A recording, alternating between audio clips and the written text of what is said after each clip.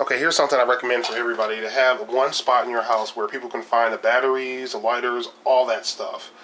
Uh, know, flashlights, if the power goes out, they can just go there and grab what they need, okay? I usually recommend sticking with the common battery types. The flashlights that take common batteries like AAA. Now this is this Coleman Max has worked really well for me. I have one in my van. I've used it for a while, uh, probably a year by now, and it's still going strong. Uh, it's pretty bright, 110 lumens. I also keep an extra one right in here. Uh, I've been plenty of AAA batteries, plenty of AA batteries. You know, more AAA. But I've also been using the Streamlight. This is something I've been carrying with me every day. And it takes a CR123A battery. Well, these higher end batteries are much more powerful. However, uh, they're more expensive. And I would not recommend trying to buy these things in the stores. Not at all. not at all. You know, just uh, try to buy them online and try to buy them in bulk. You know, these lithium batteries are cheaper when you buy them online.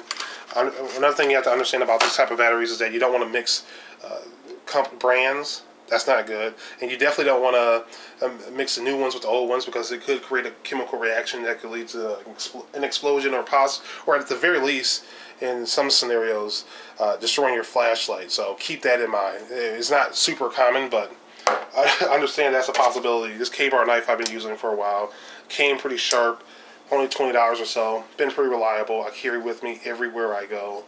Uh, these, these are just two items right here that I definitely carry everywhere I go, uh, along with the firearm. And of course I have keys, but I carry something that's called a ResQme. This little blade right here, you pull it out. If you're in a car accident and you use this to cut your seatbelt and free yourself, this end right here, you press up against the glass, it sends a piece of metal out and it shatters the window for you. So if you end up in a river, river or a lake, there's an option for you. Uh, you know, it could, it could end up saving your life. Hopefully you won't ever have to use it, but I decided to sort of expand upon this and get some different tools. Here's something called a Swiss Tech Multi, uh, well, Micromax. Has supposedly 19 tools, flathead screwdrivers right here, Phillips head screwdrivers right here, some other little tool right here, which I probably will never use at all.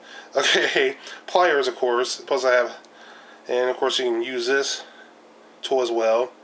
Bottle opener, you know, things like that.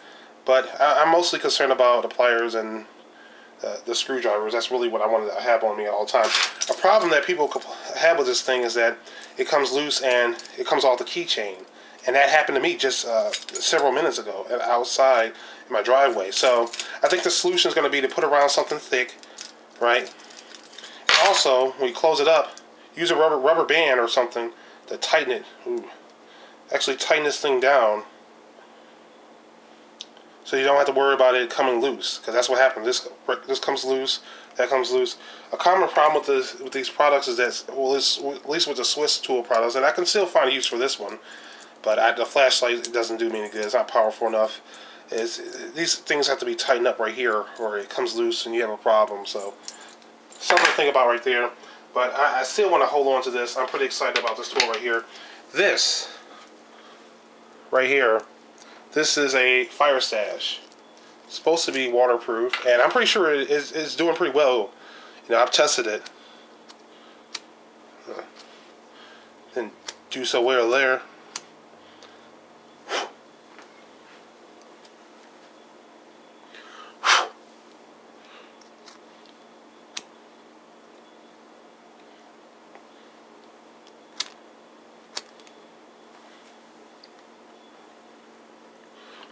I've been dipping it in water and seeing if it will come on.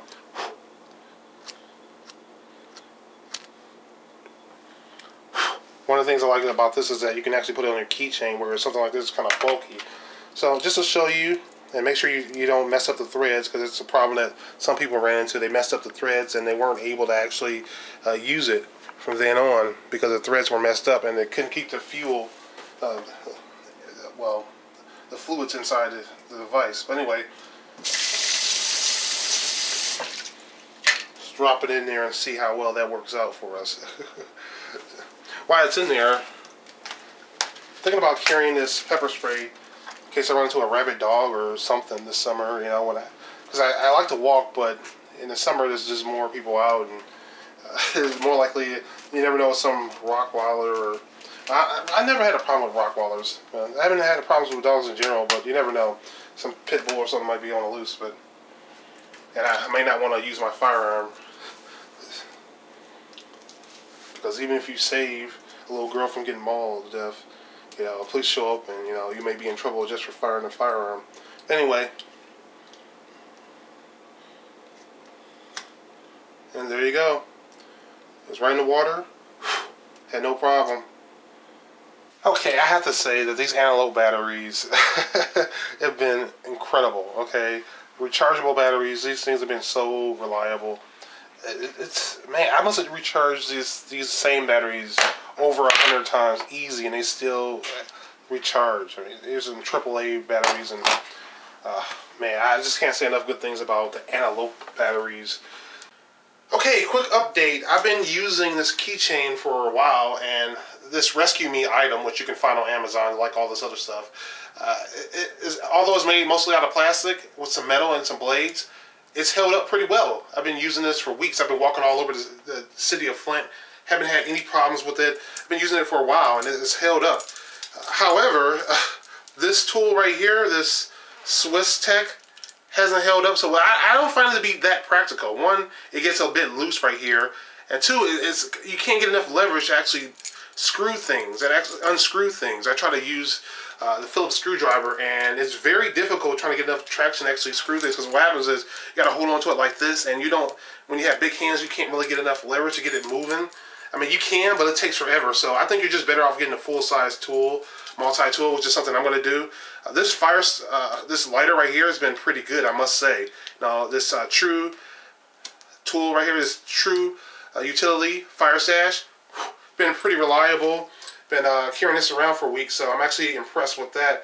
Uh, somebody said I should probably get some type of muzzle brake or something like that for my firearm, for my AKs, and I have actually acquired this for around $10 at Amazon. I can put it on my Walser because of the size. It goes right onto the barrel, actually. But the problem I'm running into with my Arsenal SDL 20 is that you have it doesn't you and you need some type of adapter or something else because it doesn't the actual muzzle brake can't go on to the actual brake itself So I need to know what's a good muzzle brake uh, for this type of thread, for this type of tool. So, alright guys, those are some of the things I've been uh, working on. Thank you for watching, thank you for listening, and don't forget, the future belongs to those who prepare for it today. Bye.